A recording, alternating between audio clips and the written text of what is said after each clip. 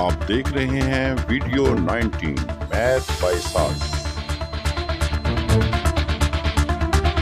hello and welcome to maths by Sas this is my ninth lesson of D four exercise four A linear inequalities in two variables. In this lesson, we will be discussing about the greatest and least values of function. Let's move to question number 4. Question says leave unshaded the regions defined by the following inequalities x greater than equals to 0, y greater than equals to 0, 3x plus 4y is less than equal to 24 and 2x plus y is less than equal to 8. Find the greatest value of 4x plus y which satisfies above inequalities.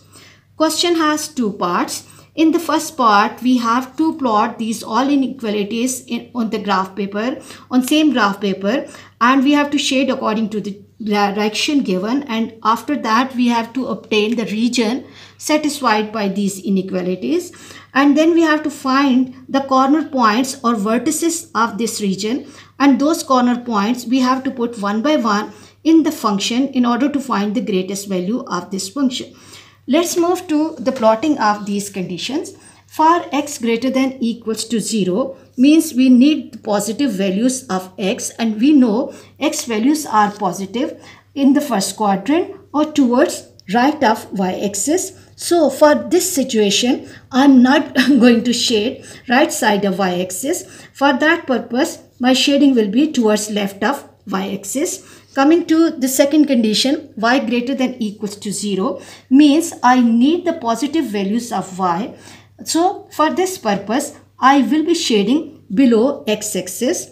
Coming to the third inequality condition that is 3x plus 4y is less than equal to 24 we know that in order to plot slope-intercept form of equation of lines and inequalities, we have to convert them in form of equation and then we have to plot them either by table values or by intercepts. I'm going with intercept. For x-intercept, I have to put y equals to 0 in this equation and I'm getting one of the point 8 with 0 and for y-intercept, I have to make my x 0 and my y value is coming 0 with 6. So I'm obtaining these two points.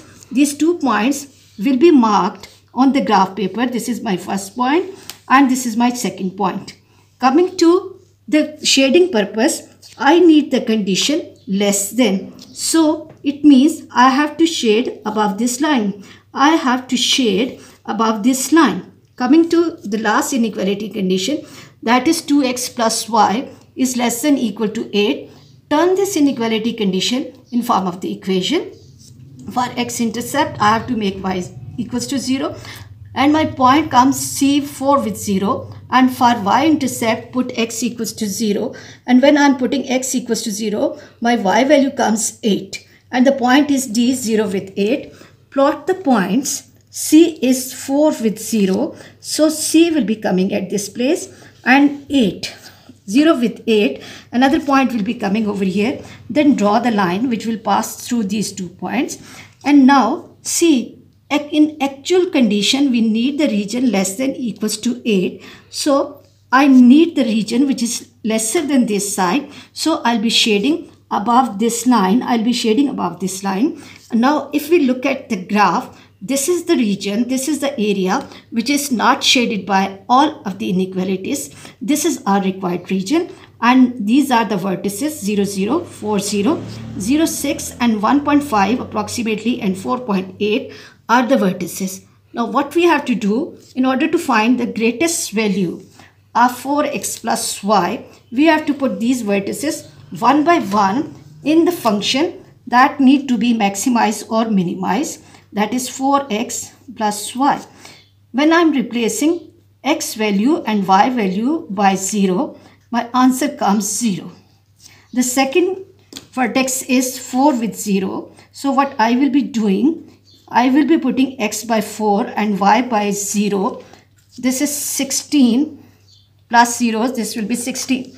Coming to the third point, f of x, y equals to 4x plus y. My third point can be 0 with 6. 0 with 6 means I have to make my x 0 and y 6 and answer comes 4 times 0 is 0 and 6. This is my third point.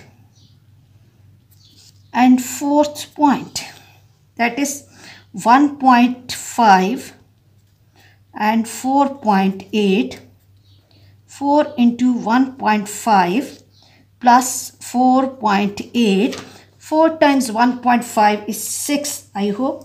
That is 1.5 multiplied by 4 yes this is 6 6 plus 4.8 and it is 10.8 now let's reread the question. Question says find the greatest value of. If we look at all answers one answer is 0 then 16 then i'm getting 6 and 10 16 is the largest answer. So this is my required answer. I hope you have understood today's lesson. For understanding of next lesson, please catch me in the next class. Like, share and subscribe the channel and press bell icon to get the notification of every lesson in time and write your comments in the comment section. Thank you very much.